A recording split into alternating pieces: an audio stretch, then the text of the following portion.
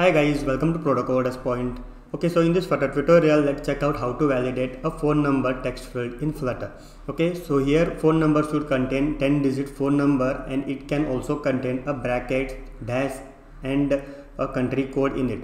Okay, so here I have created a dummy app just for an intro of this tutorial. So you can see I can enter 10 digit phone number and after entering 10 digit phone number it is getting validated. And if I enter 9 then it is saying that it uh, enter a valid phone number. And here I can also give a country code.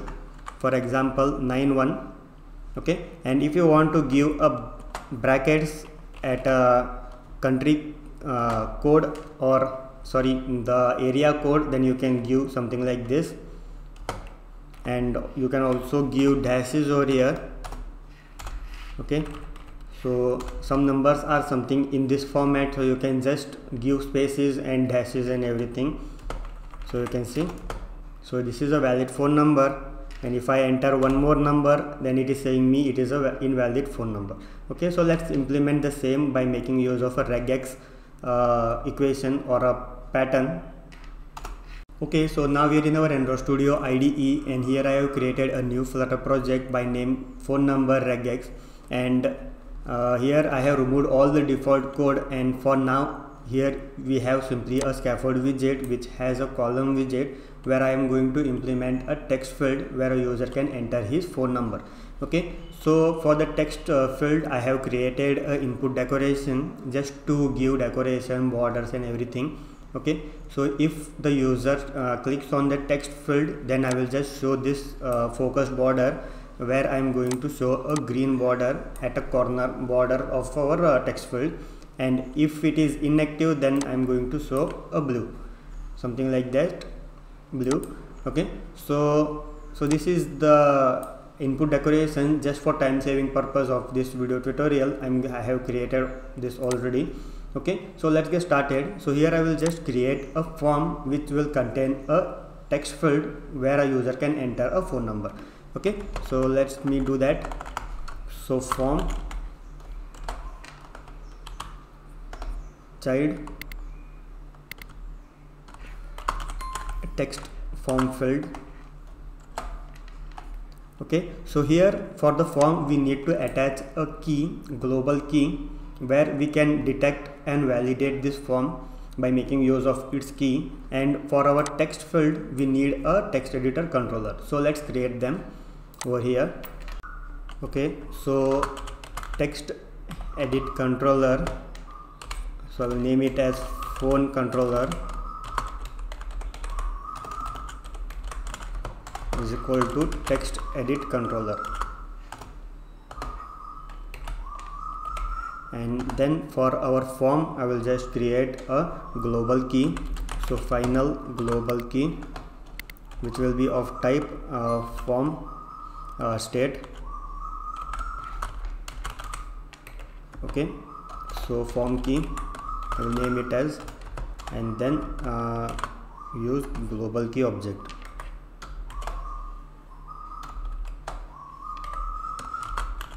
Form state. Okay. So let's attach these two objects to our form and uh, text field controller. So here key form key and for our text edit uh, text form I will just add the controller that we have created. So form yeah, like this. Okay so now let's add a decoration that we have created to our text field. So decoration and here I just need to pass our build input decoration and it accept two parameters that is one icon and one is the text hint. Okay so here let's pass an icon. So we can pass as uh, phone icon. Icons dot phone.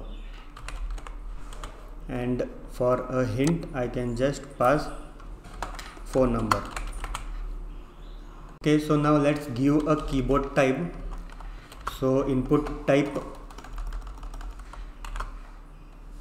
uh, text input type will be of type phone number. So whenever the app will get opened in phone devices then the keyboard will be of type number pad. Okay? Now let's validate the form.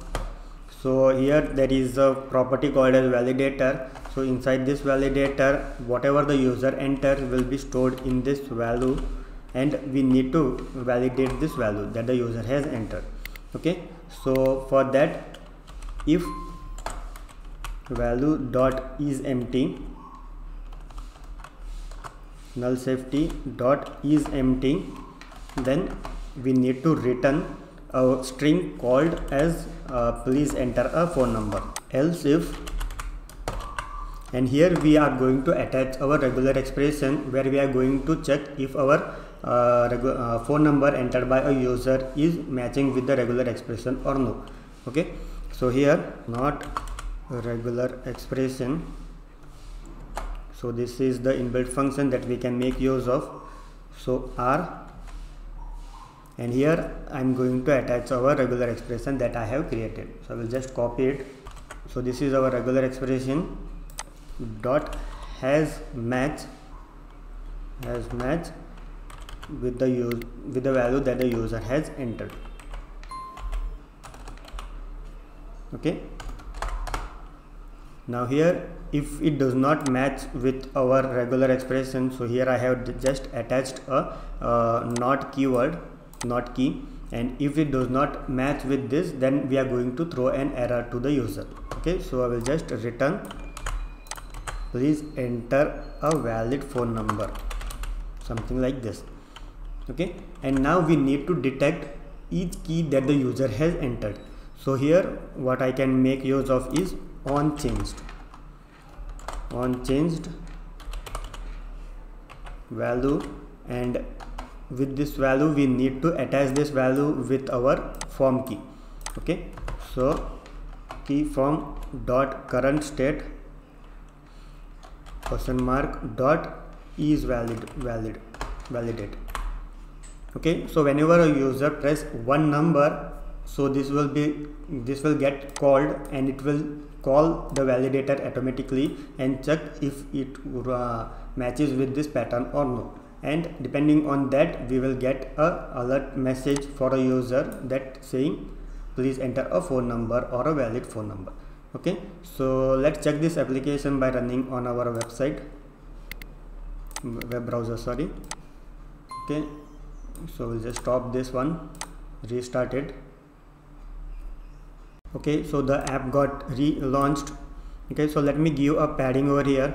So what I can do is I can just wrap this uh, filled with padding widget and let's change the padding to 16 hot refresh. Okay so now you can see I can enter 8 7 and I can just enter any number. So after entering 10 number it is showing me a validation. Successful and then I can add a country code. So you can see until I add plus sign with a number it is showing an error. Then after I complete the country code part it is been validated. And here I can just add brackets. So you can see underscore I cannot add. I can add dash symbol symbol so if I enter one more number then it will show an error saying it is a invalid number. So you can see. Okay so that's all for this video tutorial. You can just get the regular expression from my website protocoderspoint.com and you can use it in your application to validate a phone number. So thanks for watching. Please do subscribe protocoderspoint thank you